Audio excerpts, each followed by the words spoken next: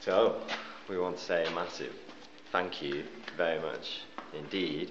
Um, we are from uh, the UK, we are from Cornwall in the southwest of England, and we came to COP representing the newest country in the world, uh, the independent state.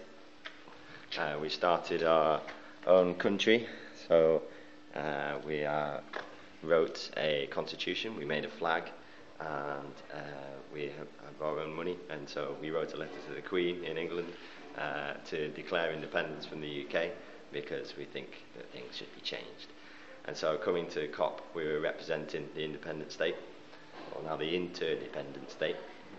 Um, and we found Angus, and we found this amazing thing that was going on with the coffin. And so, I uh, really wanted to use it uh, to take it on from here. And so, we decided that we would, uh, we went and picked it up and brought it back here and sanded it all down and painted it because we were going to bury capitalism. so we've been asking everybody to uh, say what they would like to bury, what they would like to get rid of.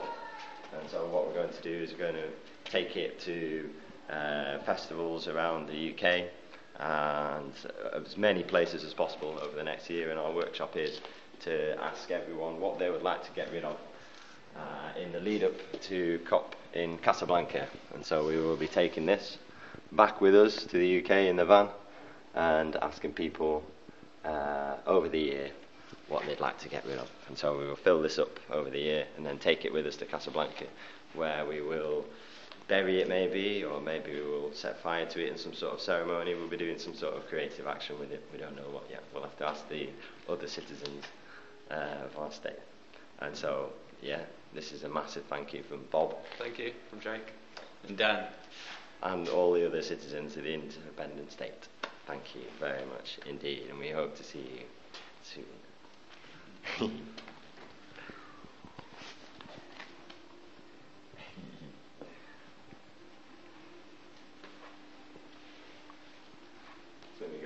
design.